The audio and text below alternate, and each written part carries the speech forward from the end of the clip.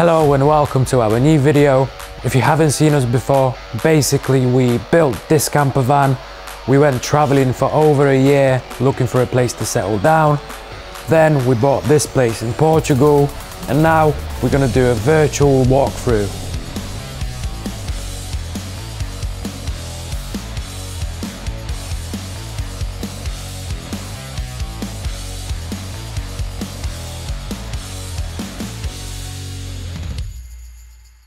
For a little bit of a background, last year we bought this property in central Portugal and one of the reasons we, we bought this property is because it came with an approved project of a house that was ready to be built.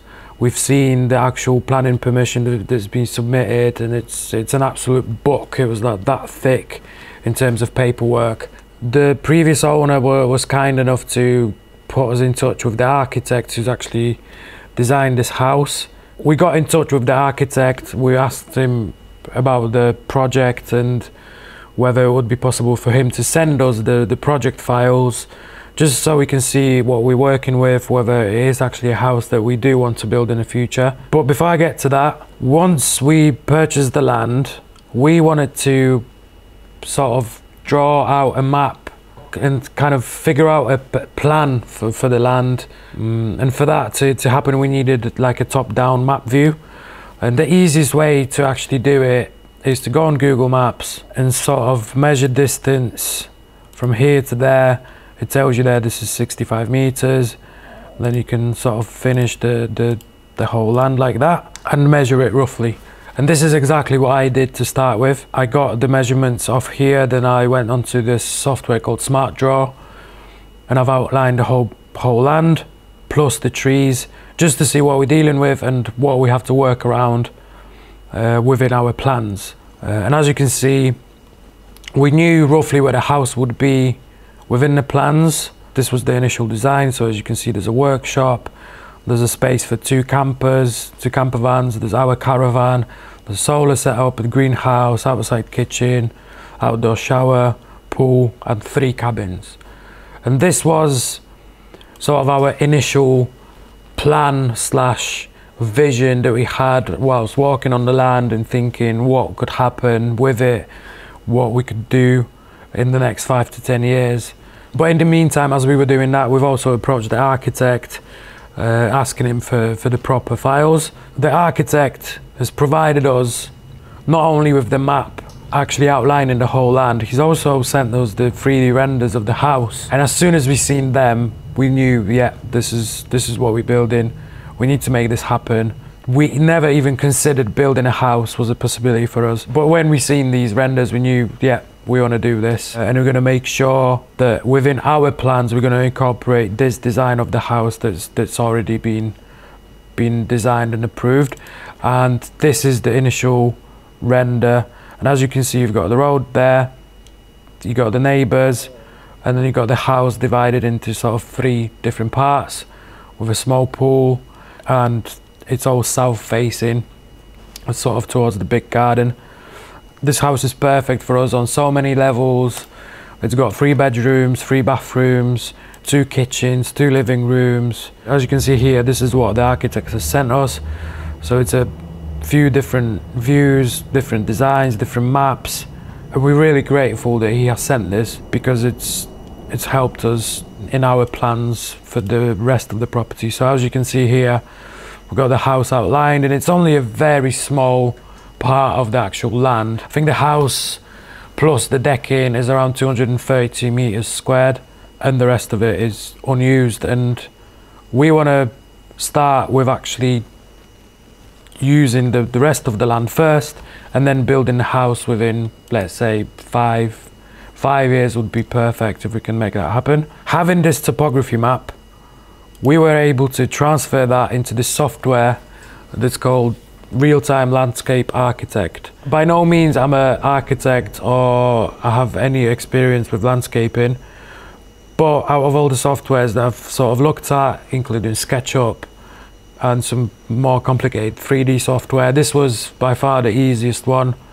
So out of that map, we were able to create this, which sort of follows the follows the original map. It's drawn to scale, So as you can see, we've got all the trees outlined, we've got the house, we've got the access road here, you've got the caravan, and then we've got the cabins there, the solar array and stuff like that.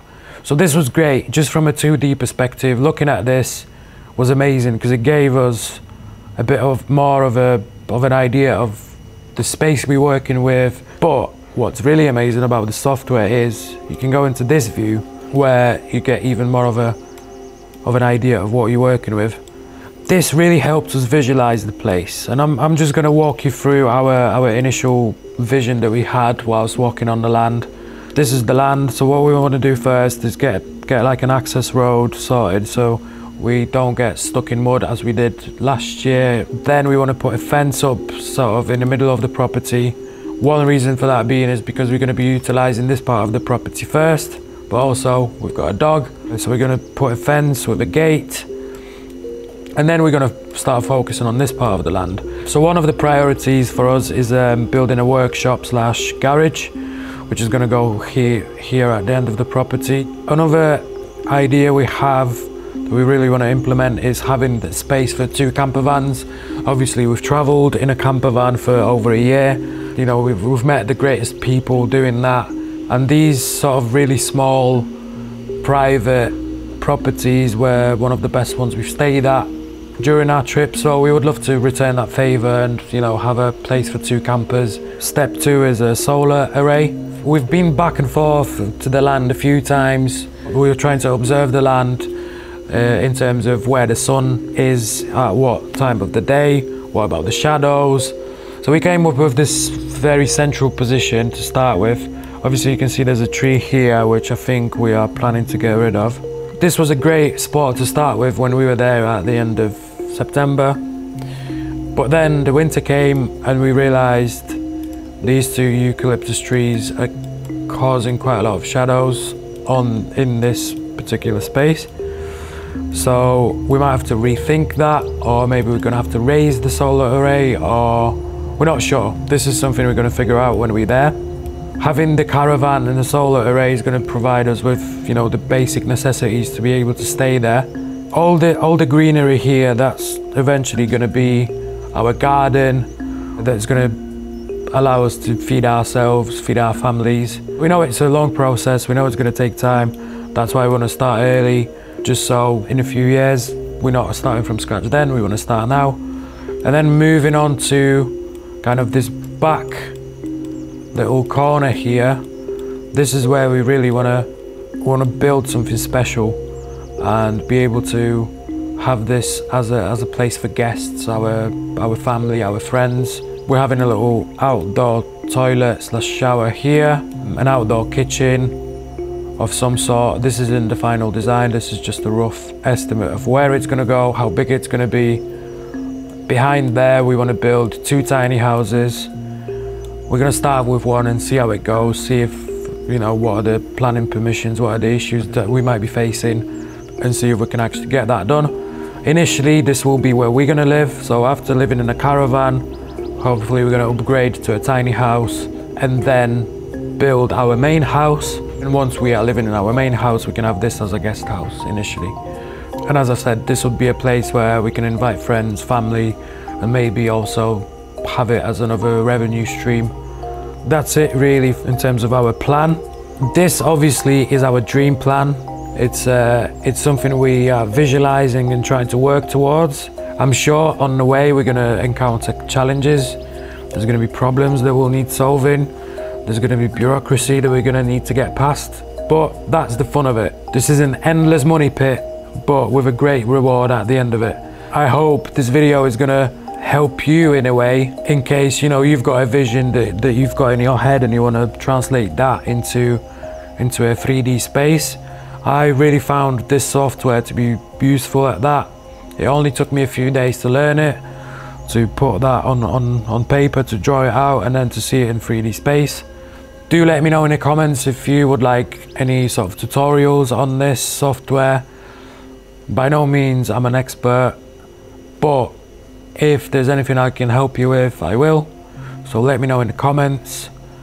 Um, I really hope you enjoyed this video. Thanks for watching.